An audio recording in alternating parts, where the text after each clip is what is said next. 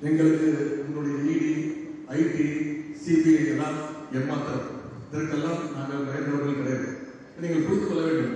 இன்று காலையிலிருந்து நம்முடைய அமைச்சர் அண்ணன் பொன்முடி அவர்களுடைய இடத்துல சோதனை நடக்கிறது இந்த நேரத்தில் அவர்கள் நினைக்கிறார்கள் ஒன்றிய பாஜக அரசு ஒன்றிய பிரதமர் திரு மோடி அவர்கள் நினைக்கிறார்கள் எப்படி சென்ற அதிமுக ஆட்சியை இப்படிப்பட்ட சோதனைகளை நடத்தி அவங்களுடைய கட்டுப்பாட்டில் வச்சிருந்தாங்க உங்களுக்கு தெரியும் முன்னாள் அமைச்சர்கள் திரு விஜயபாஸ்கர் புதுக்கோட்டையில் இருக்கிற விஜயபாஸ்கர் அவருடைய இல்லத்தில் சோதனை நடந்துச்சு ஒரு நாள் முழுக்க சோதனை.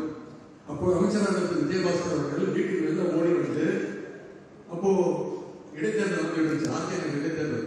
இதெல்லாம் தொலைக்காட்சி லைவ்ல பார்த்தீங்க ஒரு அமைச்சர் வீட்டுல இருந்து வெளில ஓடி வந்து ஒரு புக்கை வெளில தூக்கி செவிலிருக்க முயற்சி செய்து ஒரு புக்கை வெளில தூக்கி போட்ட காட்சிகள்லாம் நீங்க பார்த்தீங்க திரு விஜயபாஸ்கர் மட்டுமல்ல திரு தங்கமணி திரு வேலுமணி அனைவருடைய வீட்டிலும் சோதனை நடந்துச்சு.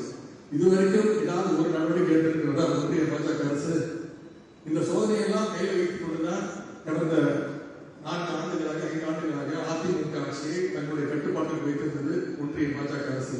அதே வேலையை திமுக கட்சியும் செய்து பார்க்கலாம்னு நினைக்கிறது ஒன்றிய பாஜக அரசு. அது உங்களுடைய கனவையும் அது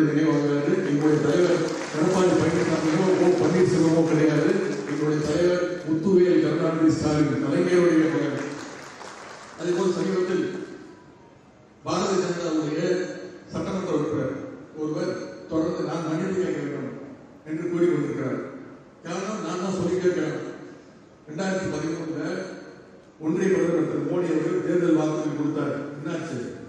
முக்கியமான வாக்குறுதி சொன்னார். உங்களுக்கு ஞாபகம் இருக்கும் திடீர்னு ஒரு நாள் ஆயிரம் ரூபாய் நோட்டு ஐநூறு ரூபாய் நோட்டு செல்லான்னு சொல்லி அதுக்கு காரணம் என்ன சொன்னாரு? இந்தியாவில் இருக்கக்கூடிய அனைத்து கருப்பு பணத்தையும் ஒழித்து அனைவருடைய வங்கி கணக்கிலையும் பதினஞ்சு லட்சம் ரூபாய் நான் போட போறேன் அப்படின்னு சொன்னார். இதை ஞாபகப்படுத்த என்ன? இப்ப சொல்லிட்டு இருக்காங்க நான் மன்னிப்பு கேட்கிறேன் நான் சொன்ன நான் மன்னிப்பு கேட்க மாட்டேன். என்கிட்ட ஆதாரம் இருக்கு. முடிஞ்ச வழக்கு போடு. ஒன்றிய பிரதமர் மோடி